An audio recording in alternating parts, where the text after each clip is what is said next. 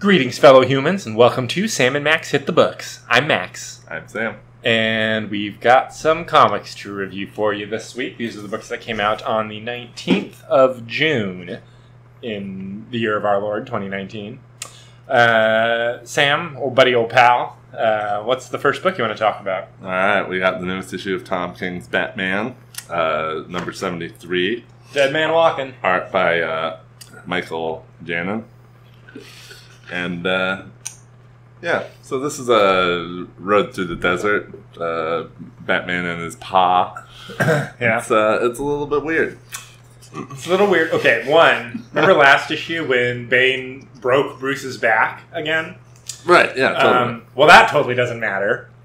no, it doesn't seem to. Uh, it just broke his, uh, and I guess he gave him to Thomas. And then Thomas uh, Who was a went out- doctor. Right, went and uh, me- mended him up a little bit and put put him on a horse, and now they're now they're going through the desert. Took him out into the desert. Took him out to the desert because they're looking for the na- the Nain pit. It's a better Lazarus pit. Bro, did you hear about them Nain pits? That's better than a Lazarus pit. Better than can- Lazarus Pit. Why would anybody ever go to the Lazarus Pit? To uh, come back to life, man. That's what Ra's does. But why would you need it if you got a, a, a this pit? But, yeah, exactly. Right, Like, why wouldn't Ra's be using that pit? right, exactly. You don't need that Lazarus Pit. Don't you come out, come back uh, insane from the? If it's better than the Lazarus Pit, I assume you don't come out back uh, insane. Right, and I don't think the Lazarus pit can bring you back if you're like a desiccated corpse. Like, so I don't think that if they tossed like Martha's bones and from this coffin into the Lazarus pit, I don't think Right. anything would come out. No, it won't. It won't reconstitute you. Right. I don't think so, but I don't know. Who knows? In Tom King's Happy Batman world, maybe. It, I don't know. Well, no, he invented a new one. Then he's decided. Right. we're, we're seeing it. right, you need something else. Maybe this one will be sentient. That'd be fun. Uh, yeah, it was an alright issue, you know. Uh, Thomas is singing the Okay. old song the entire time. That was the thing that pissed me off the most. That was the most Tom King-ish thing of the issue. Was like he's got to. He ha- feels like he has to squeeze something in. Right. And then you you notice the fact that you're reading the same bubbles Right. again and again, and that's very annoying. And it makes you. It's interesting because the one time. Like, what was the last time we pretty much enjoyed a Tom King comic? I would the, the Batman run. I would say it was the Roadrunner issue. And you know, what was the thing about Yeah, that issue? it was that uh, there weren't speech bubbles of any kind across a bunch of the art. He let the art speak for itself.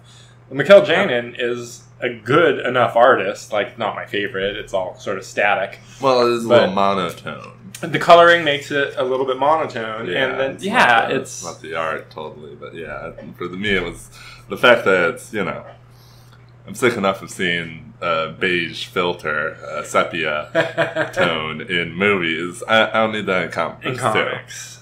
So true, and like it, this is one of those things where it's like, oh, I guess I kind of want to know what happens next, but this is not compelling. No, like that didn't go anywhere. It's a, it's a walk through the desert. it's a walk through the desert with with a little fighting. A little fighting. Yeah, there were some ninjas. Right, with a new plot point that is like all seems very disconnected from the other plot points. Like if this is all just a plan for Thomas Wayne to make it so Bruce doesn't want to be Batman anymore, so that he can be Batman or whatever his end game is. I- I don't know. Yeah, it's it's weird. Not compelling. Nah, nah. Uh, still, I would I would give it a three. Because yeah, the the line art is awesome. I'm gonna give it a two. I, I, I didn't enjoy it. Did not enjoy it. You go into the desert and you don't have him fight the ten-eyed men. I mean, come on. All right. Um, next up, we're going to talk about the first issue of the IDW age of Usagi Yojimbo. Um, this is a new publisher, so we're getting a brand spanking new number one, new plot line, and for the first time ever, all in color.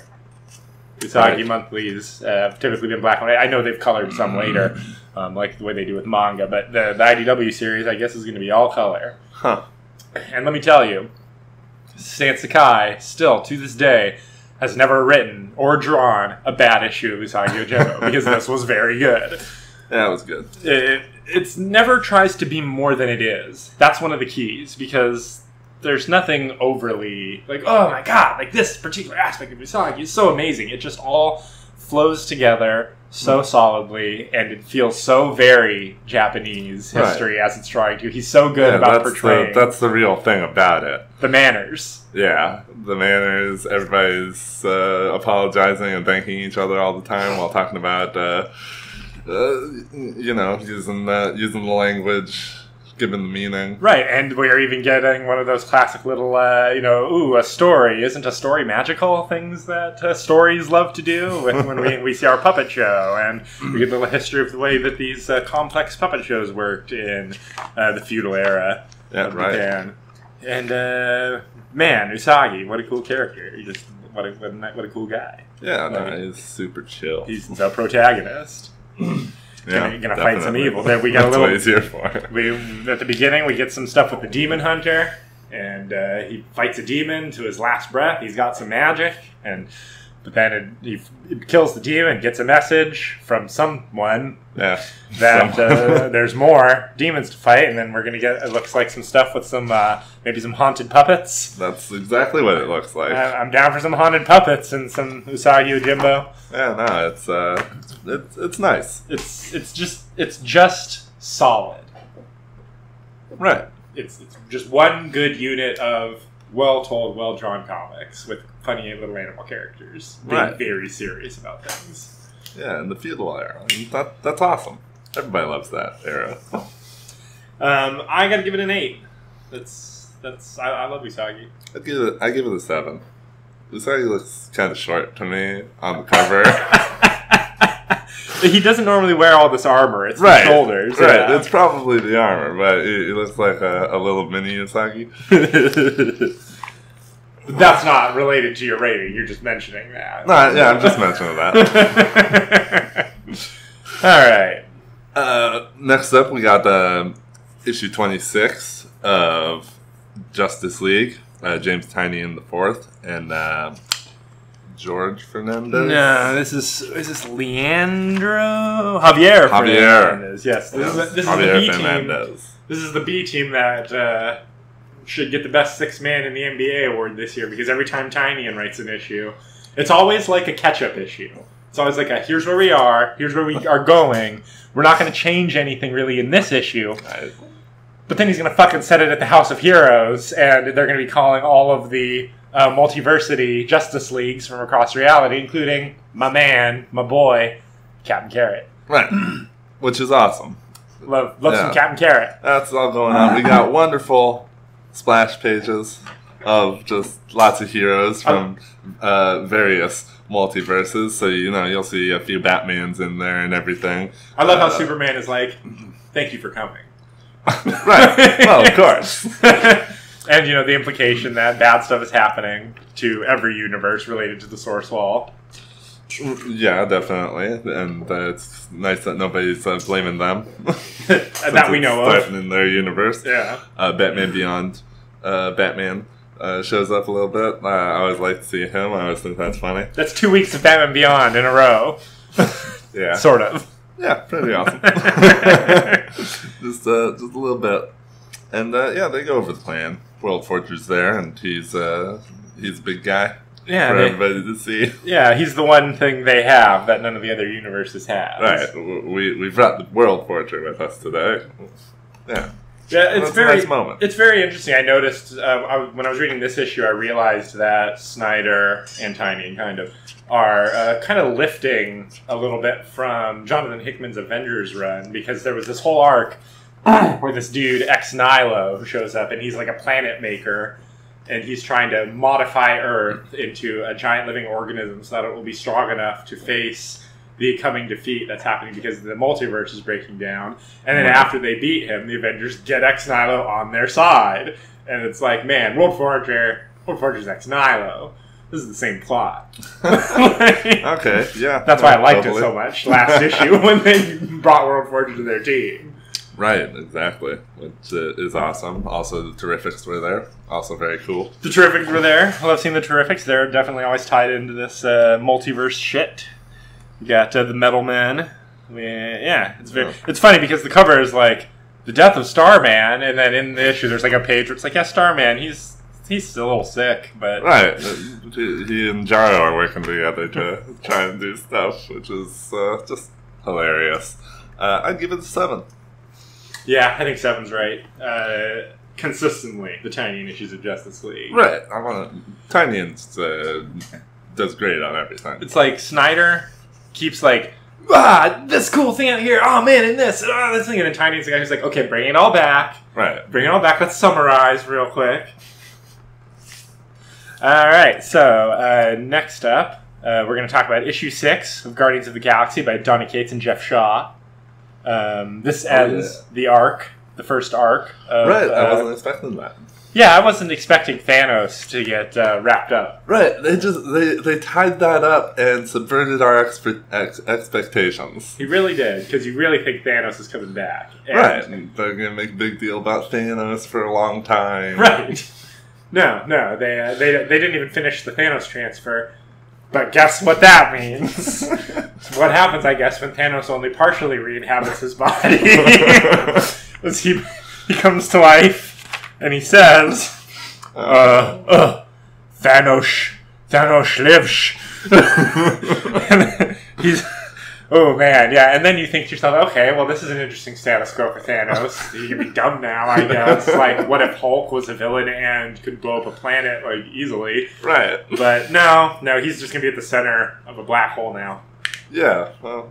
Yeah. There, there he goes. Um, thanks primarily to our boy Beta Ray Bill, who Right. continues to be awesome. the MVP of the he's stealth MVP in uh, Silver Surfer last week. Yeah. Uh, just bringing Lockjaw to Guardians of the Galaxy. His hammer's doing like seventy percent of the work happening on page at any given moment. Right. It's, everybody's just like, okay, now now's the time. Bill, do the thing, and he throws the hammer. he's he's cool horse Thor. yes. Like I yeah we all he even uh, acts like cool horse Thor. Right, and the best like Thor hasn't even been as Thor-ish of late as Beta Ray Bill has been Thor-ish. God, that's so true, and it, it makes me sad. There's so much Thor stuff in Thor. Bill can just be the trappings of Thor without all this modern continuity attached to him. Right, the other people who are Thor, but they're not Thor anymore, but they kind of are. Right. And Thor, uh, he's old man. He's more like Odin now. Or then you're getting Fat Thor. I mean, what happened? We got Thor Ragnarok, and it was awesome. And then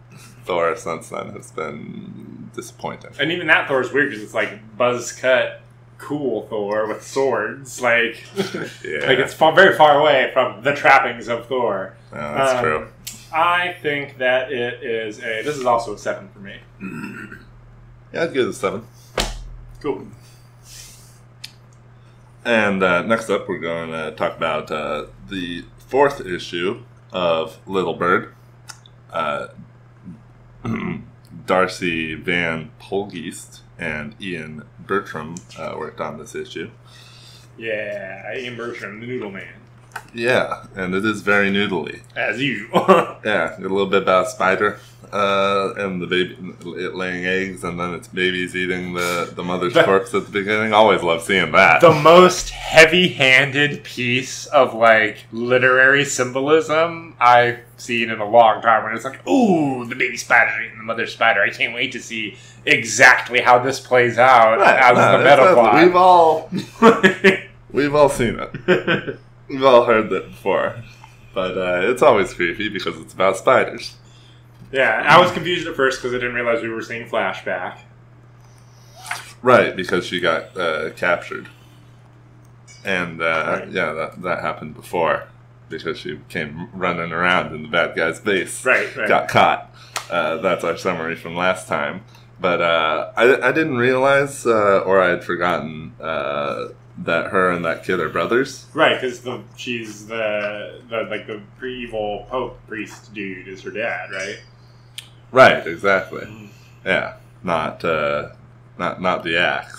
It's her grandfather on her mother's side. Right, that's what it was. Yeah. Thank you. the axe. That's the one thing that this issue is lacking that the first three issues had was the fucking axe. Right, and I, I am hoping that the Somehow. axe is not as dead as he most definitely uh, would appear to be. I mean, is that what we're seeing when the pirate guy in the eye patch is crawling towards that uh, capsule thing? Was that his thing from when he showed up? But like, I, I feel like we might be right. guy. Yeah, uh, yeah, I it's- have no idea we what get- you're talking about with pirate guy. was or bounty hunter guy, the guy who turned them in last issue. oh yeah, This guy, right? Oh right, at the end here, and he, he's walking to, towards that thing that he hid, and right because uh, he and the axe were friends. Right. Okay, yeah, you could have something something there, because yeah, he, he definitely probably isn't as uh, bad a guy. Well, they didn't make him out to be a real bad guy. Right. He's Lando Calrissian. right, right, exactly. We, we definitely saw him feeling bad about turning them in last issue, right. especially after his crew all got shot. Oh yeah. But then our ending, which is very interesting because I imagine there was a temptation to make it a twist. What happens when what happens is the kind of thing that like normally would be a twist, but they make it very obvious what's happening when the little boy switches them in the jail cell and he gets taken out to be killed and sacrificed instead of the girl. Right. Which, Yeah. uh, yeah, that's a that's a Yeah, because I was trying to figure out why is it showing the guard pulling the razor blade out. I couldn't figure it out, and then I'm like, oh wait, was she always bald? No. no. He- oh, they shaved both looked- their heads and then they switched. different. So the the fucking the kid sacrificed himself and had his dad kill him. Right? That's what happened, right? No, you're definitely right. I just had like, yeah, yeah, I burned yeah, him. my God, you're right. There was a twist there that I wasn't paying attention for. okay, that's what I was wondering because um, to me it was like, oh my god, that's definitely what's happening. It's not even a twist. no, I mean, But- why wouldn't they do that? That's perfect. Yeah, exactly. So very good, very good. One more issue to go. Yeah, man. All right, yeah, I give it. I give it a seven. Yeah, no, I got to give it an eight. All right. I really enjoyed it, and the Ian Bertram art continues to to be standout. This is the kind of thing that uh, that you want to get in an oversize. I mean, you want to see some good art uh, after the last page of the comic. There's that uh, concept or uh, whatever poster, the first one, right oh there. yeah, the JP Uh, Kim one. Yeah, yeah. that is. Uh, I, I really enjoyed that as well. Yeah, it's incredible. yeah, because it, uh, it's a completely different art style, and yet it manages to capture the essence of the noodly worminess. Oh yeah, there's there's- there's worms all over it, but also uh, you know dots and uh, just, just overall poppy colors, which uh, is always great for gruesome artwork. Yeah, I miss- the the pop color palette. I miss comics doing like just a real solid pinup gallery.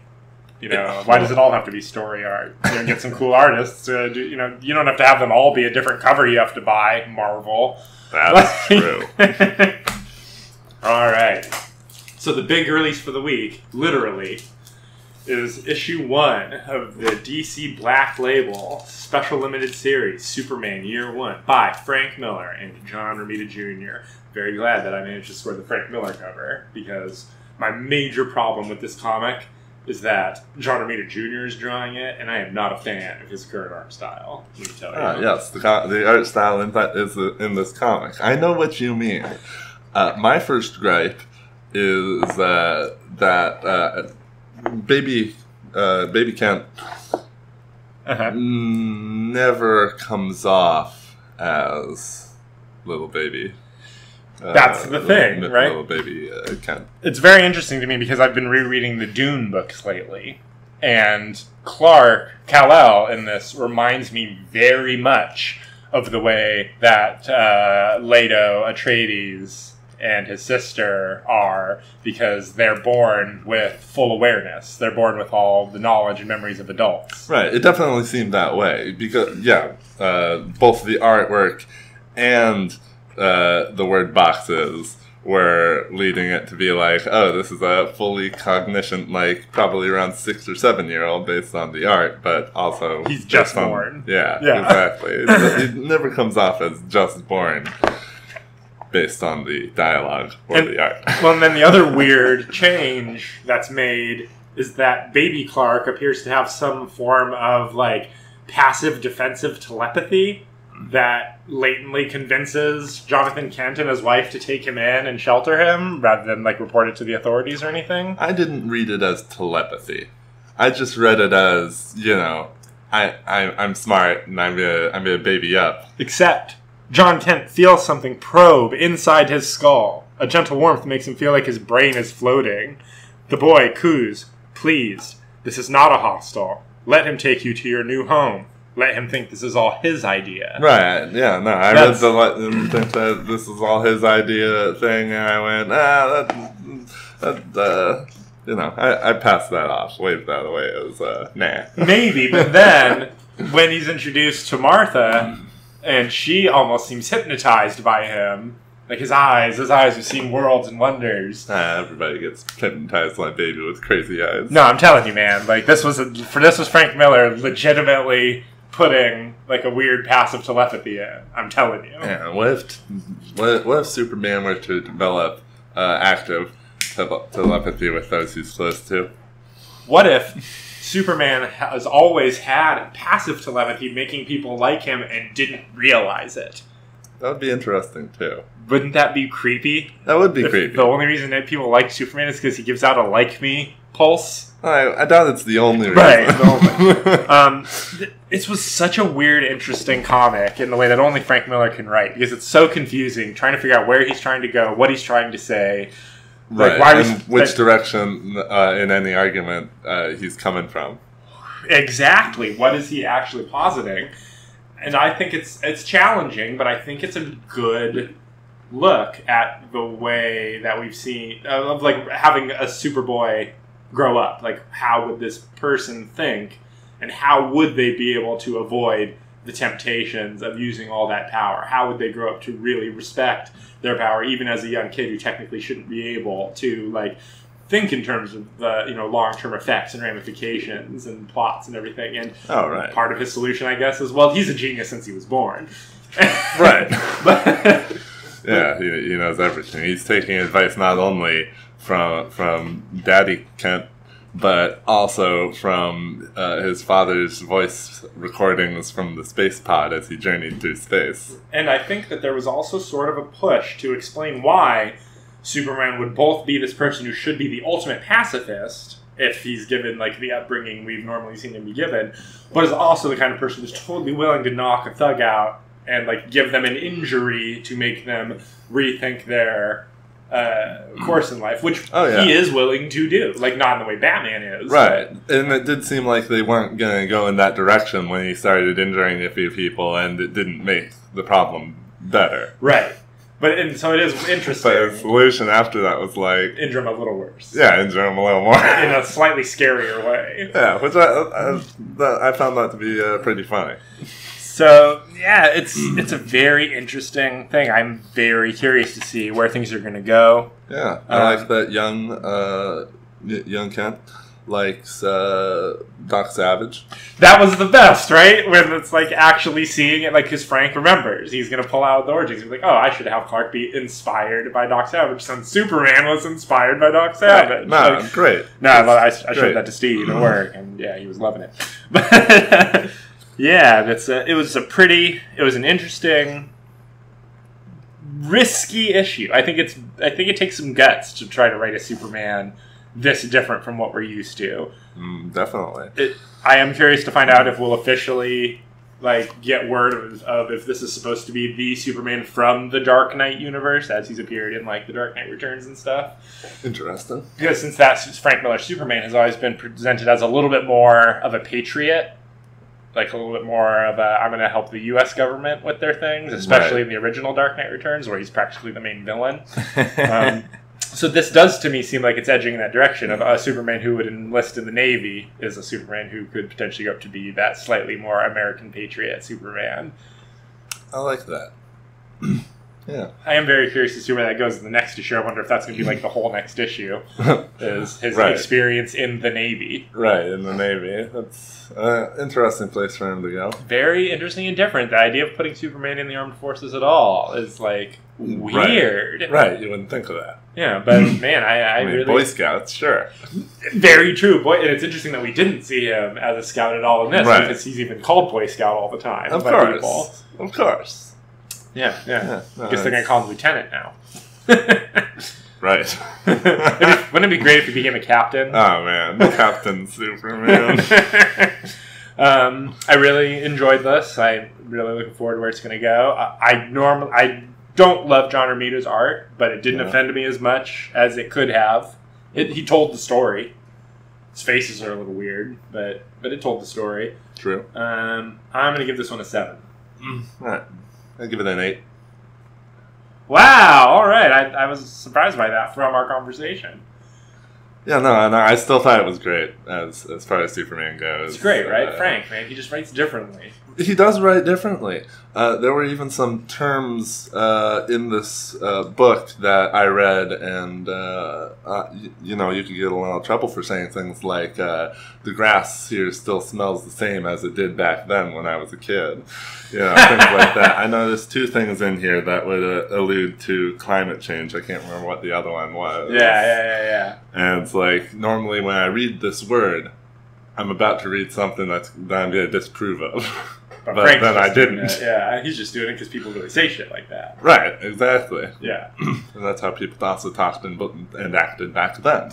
exactly. No, the all of the characterizations felt very good, even as weird as Clark himself is. Like I liked Martha. I liked Jonathan Kent being a little bit more of a like, yeah, I'm going to support your mother. You should be a pacifist, but you know, if that bully got hurt, I'm not going to be mad.